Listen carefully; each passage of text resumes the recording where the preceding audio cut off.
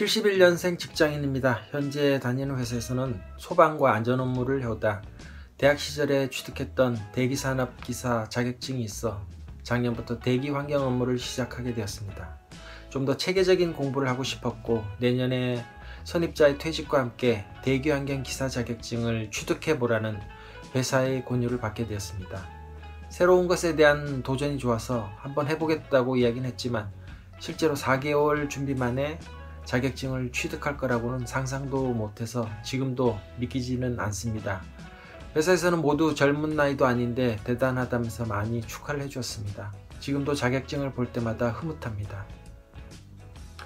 전공은 재료공학과 4년제를 졸업하였지만 다른 분야에도 관심을 가져 산업안전, 대기환경을 대학 시절에 독학으로 공부를 했었고 실제로 지난 직장 생활을 하면서 이들 과목이 매우 유효하게 접목되었고 업무에 많은 도움을 주었습니다.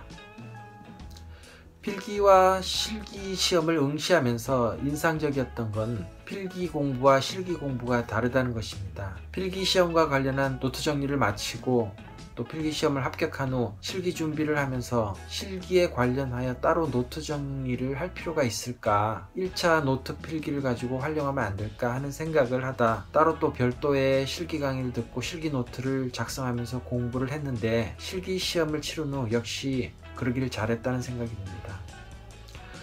강의, 수강 등 학습에 있어서 가장 중요한 것은 시간이 없더라도 포기하지 않고 계속해서 강의를 듣고 반복해서 수강하고 배속 조정을 활용하면서 아는 것도 계속해서 듣고 이해 안 되는 부분은 천천히 혹은 되돌려 반복하여 들으면 좋을 것 같습니다. 절대 포기하지 마세요. 제가 추천하는 공부법은 공부가 잘 안 되면 스트레칭을 해주거나 걸으면서 공부한 내용을 떠올리는 것이 효과적이었습니다. 책상에 앉아서 어, 컴퓨터를 켜고 강의를 들을 때는 손으로 쓰면서 입으로 말하면서 귀로 들으면서 공부하니 더 잘 이루어졌습니다. 공부가 정 안 될 때는 밖에서 산책을 하였는데 천천히 산책하는 것보다 좀 더 빨리 의식적으로 걷는 것이 상대적으로 더 많은 정보를 인식하게 해주고 다시 공부를 하고 싶어지는 마음이 들게 하였습니다.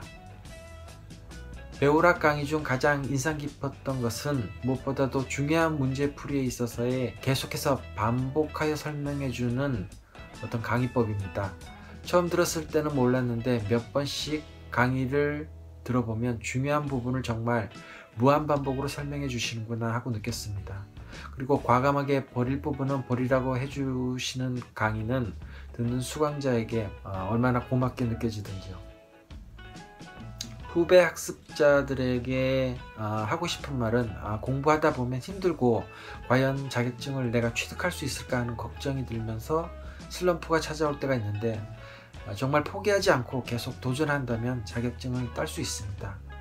대기기사 수험생 여러분의 합격을 기원합니다. 화이팅!